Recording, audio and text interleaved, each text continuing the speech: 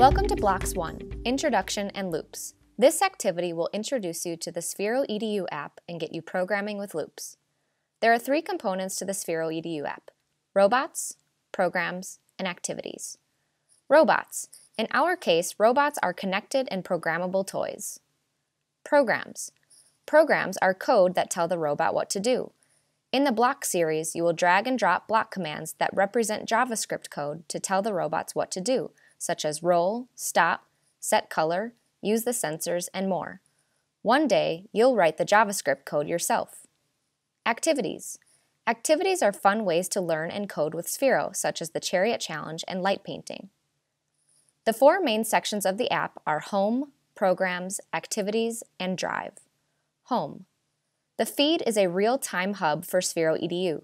Scroll through and you'll find trending content, alerts if a user comments on something you've shared, and our at Sphero EDU Twitter feed. Visit the feed every day and see what's new. My Programs. These are the programs you create. You can start a new one with the green plus button. You'll see the option for three types of programs, draw, blocks, and text. You'll be learning with blocks today. You also need to select which robot or robots you want to program with. Let's use Sphero. Selecting other robots enables robot-specific commands in the block canvas. Sphero programs. Check out these programs created by the Sphero team. There are many unique examples, games, and quick lessons for your robot here. We publish a new program along with a fun video every week, and it's called Thursday Learn Day. Community programs. Check out these programs created by the Sphero EDU user community. There's some pretty creative stuff in here as well. Activities.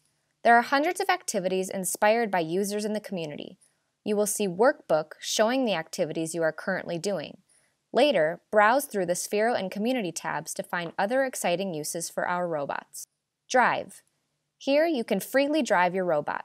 Remember to aim first, ensuring the blue taillight on the robot faces you so it's properly oriented.